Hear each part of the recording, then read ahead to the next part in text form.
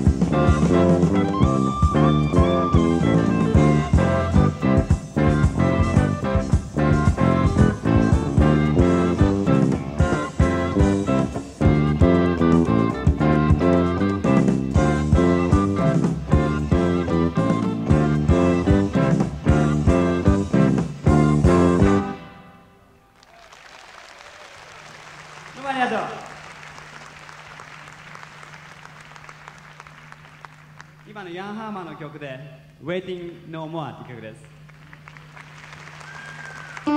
実はね今晩僕たちはこれライブレコーディングやってるんで新しい曲がなくちゃいけないっていうんで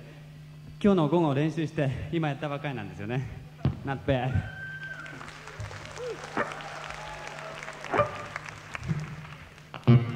とにかく東京の皆さんこんばんは。こんばんは。僕は今年の1月に日本に来てツアーをやったんですけどその時またこうやって10月に日本に帰ってくるとは夢にも思ってなかったんでね。またこうやって来たんでもうすごく今興奮してすごく嬉しいんです。今年はあのニューヨークと東京が姉妹都市になってちょうど20周年目だそうで、えー、とそれにちなんで僕がこっちに呼ばれたわけなんですけどね。それでは僕の新しいバンドのメンバーを紹介しますね。まずベースなんですけど彼はまだ19歳です。すごいいいベースでしょ？僕は前あの TM スティーブンスっていうベースと一緒にやってたんですけどね。彼がちょうど今回いろいろあってできなかったんで僕はいろいろベースをオーディションしてたんですけど彼とやってもう一発でおおと思ってもう決まったんですよね。ラッセルブレイクです。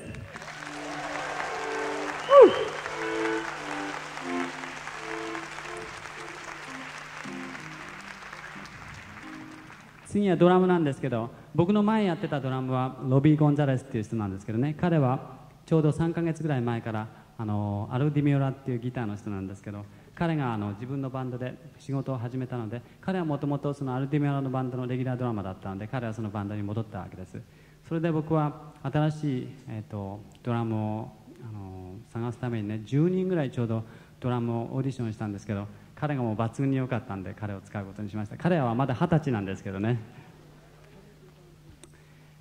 トニー・シントロン・ジュニアです。ドラムス。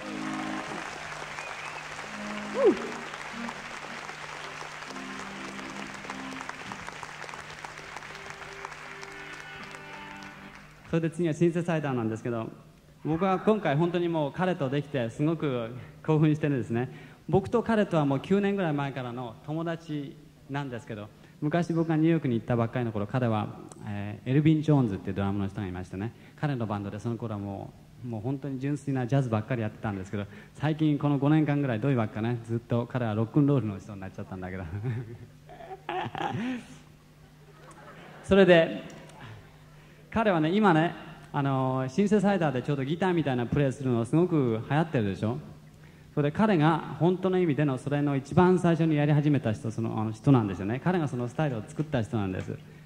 それをみんな知ってるかどうか知らないんだけど。彼はちょうどニューヨークに僕が、え行った時は1971年ですね。その時に本当にこういうフュージョンバンドっていうのかな。こういうバンドの一番の走りなんですけど、えーマハビシヌオーケストラっていうのがあって彼はそのオリジナルメンバーでした。とにかくヤンハマです。